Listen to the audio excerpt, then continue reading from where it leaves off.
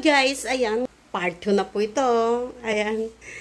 Kasi uh, yung mga nilabang ko kagabi, ayan, uh, tinanggal.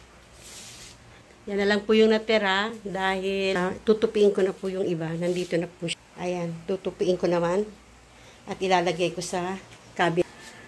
Ang day off ko po, uh, masyadong matrabaho. Tingnan nyo. 11.40 11.40 na po ako natapos doon sa mga karton. Ngayon po ay magtutupi naman tayo. Yun guys, kalahating araw. So, marami pa akong gagawin dahil maglilinis pa ako ng siat. Tapos, maglilinis pa ako ng, ng hagdan. Hindi ko alam kung kakayanin ko na. Pero try ko lang. Sige guys, tupi muna tayo ng mga damit. A few moments later.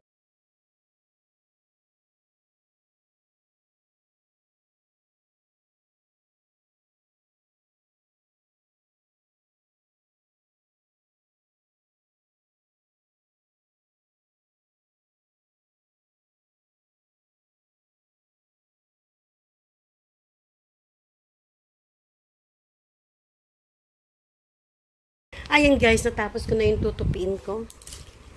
Ngayon po, magpahinga muna tayo sandali. At magto-12 na rin po. Ayan, ayan magto-12 na siya. So, kain muna tayo. Tapos, CR naman po ang lilinisin ko. Oh. Mm, okay lang yan. Kasi sa walang magawa. Dapat nga day off, pahinga. So, what to do? What to do yan? Sige guys. Hindi pa kayo.